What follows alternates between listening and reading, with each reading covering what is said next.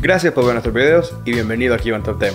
Soy David López y si te gusta la historia sobre el talento cubano que te traigo a continuación, te invito a dejar tus comentarios y a compartirla para que más gente pueda conocerla.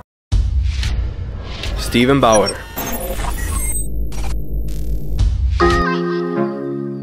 Nació el 12 de diciembre de 1956 en La Habana, Cuba, y debutó en la televisión con el show de Miami que pasa USA. El mundo entero lo conoce como Manny Rivera, el mejor amigo del legendario Tony Montana, en el clásico de Brian De Palma, Scarface, y desde entonces han sido muchos los papeles interpretados por Steven Bauer,